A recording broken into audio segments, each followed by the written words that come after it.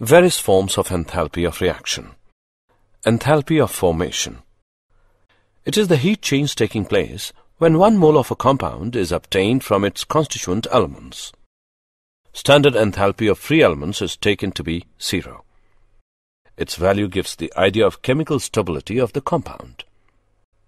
Enthalpy of combustion. It is the heat change taking place when one mole of a compound undergoes complete combustion in the atmosphere of oxygen.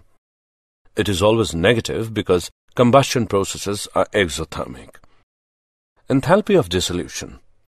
It is the heat change taking place when one mole of the substance is dissolved in large excess of solvent so that on further dilution no appreciable heat changes occur. Enthalpy of hydration. It is the heat change occurring when one mole of anhydrous substance undergoes complete hydration.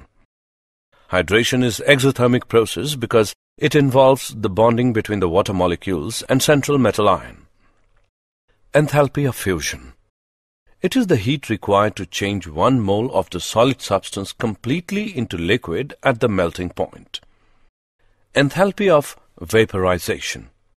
It is the heat required to change one mole of the liquid substance completely into vapors at the boiling point.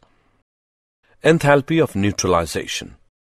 It is the heat change taking place when 1 gram equivalent of an acid is neutralized by 1 gram equivalent of a base in dilute solutions.